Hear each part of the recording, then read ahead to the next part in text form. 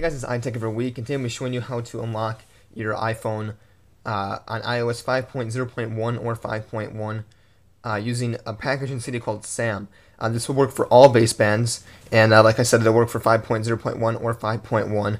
Uh, but you will need to be jailbroken. Obviously, this package is in Cydia. If you uh, aren't sure how to do that, you can just check my uploaded videos, and I'll have tutorials. And I have tutorials uploaded on how to jailbreak your device. And the the repo that you need to add is right here and all you have to do is hit edit and then add and uh, the repo is it's uh, repo dot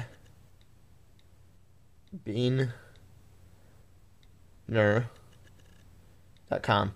A little bit of a glare there, but I think you can see it clearly. Uh, so that's the source that you need to add. Uh, I myself already have it added, uh, so I'm just gonna go ahead and cancel. Uh, but here's the source right there, and you're gonna go ahead and go to the search and type in SAM and uh, it'll be it'll be right here. You go ahead and install that. It'll install some other required files, um, like four or three of them or something like that. Uh, and then you'll have this little SIM card icon on your device after you uh, go ahead and respring. Now I'm not gonna be able to show you guys that this works, but I can guarantee you that it does work if you follow the process correctly. Uh, all you have to do so far is install it. So my phone is currently locked uh, to a two-year plan with AT&T, and um, what you what you'd have to do is open this up and uh, you'd go to let's see, here, you'd go to the utilities, and then uh, you'd click on deactivate iPhone. If you're not locked into a plan or anything like that, um, or if you don't have a plan, you don't have to worry about this. Uh, but if you do, you're gonna have to deactivate that SIM card first. And uh, after you uh, deactivate it, it'll have the options to uh, the attempt deactivation and restore deactivation up here. Uh, so once you uh, once you see that, you'll know you've deactivated it. And at this point, now that you have uh, deactivated the phone, you can eject the SIM card using your SIM eject tool or like a paper clip or something like that, just to uh, to get the SIM card out.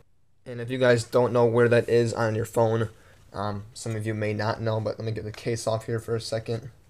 So got the case off, and you can see it right there on the the right side of the phone there's that little holder. You just put your SIM ejector tool into there and it'll pop out the tray, or you can use a paper clip and also uh, pop it out. But like I said, I'm not actually going to be doing this myself because I am staying with AT&T and I don't need to unlock my phone. I'm just going to show you guys how to do it. Um, and then you can go ahead and once you pop out your SIM card, you'd have to cut your, your other SIM card uh, to fit the tray correctly. And uh, then you can go ahead and push that into your phone. And uh, once you put your SIM card in there, then you can go ahead and go back to the main menu and uh, you're going to make sure that this says enable. And then uh, once you have that enabled for sure, uh, then you want to go to method and make sure it is selected to auto detect.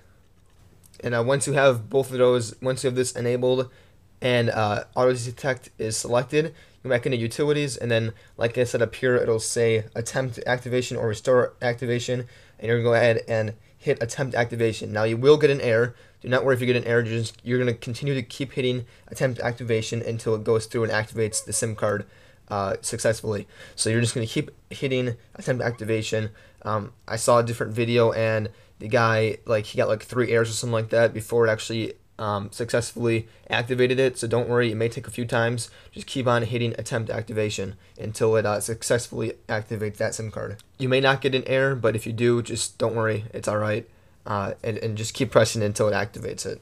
And also when you're hitting attempt activation, it'll have like little dialer spinning and then once it um, successfully does it, it'll go ahead and respring. Your device will turn black, and it'll have that just the dial. Then it'll have just like the little dial going around, and then it'll uh, it'll respring. And right after respring, it'll detect um, what SIM card you have installed and what carrier, or whatever, and it's unlocked to that carrier.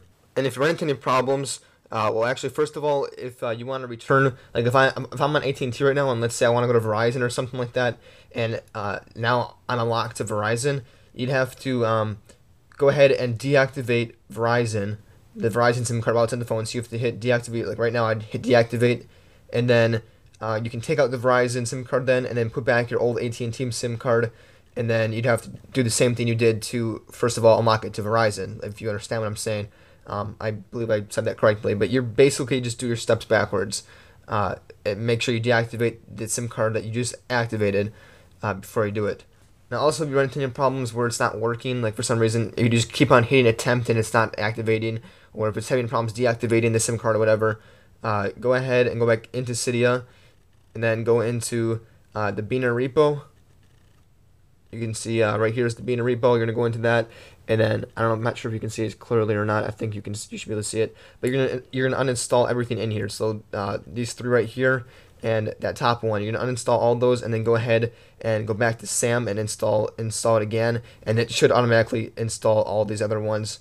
Uh, because those are required for SAM to work. So just uninstall it and then reinstall it by um, by removing all these, and then try it again. And if you get an error um, trying to activate it again or attempt the activation, it'll say just make sure you keep on hitting that and it should do it. Uh, just just make sure you hit it a few times at least before you before you try to remove it and then reinstall it. That is it, guys. Those are a few tips to if you run into any problems or anything like that. Uh, but I hope this works for you guys. If you run into any other problems, comment down below and I'll see if we can help you out. Um, like I said, I'm not actually going to show you guys this because I'm not going to deactivate my SIM card because I don't I don't have it to I don't have to unlock it to anything else. Um, I'm going to stay with AT&T, uh, but this should work for you guys. Um, and make sure to just try those steps if it does not work for you the first time or whatever. But that is it. If you guys enjoyed this video and helped you out, I'd appreciate a like down below. That helps me out. Um, and also, if you want to subscribe top to get notifications for my my future videos. Currently, I have a series for the iOS 5.1 untethered jailbreak updates. And when that jailbreak is actually released, I will put a tutorial out for that. Uh, so if you want if you want any of that content or my future videos, go and subscribe at top, and uh, you'll receive that content on your YouTube homepage or by email if you select that option also. That is it, guys. I hope you enjoy the rest of your day. I'll catch you in the next video. See you later.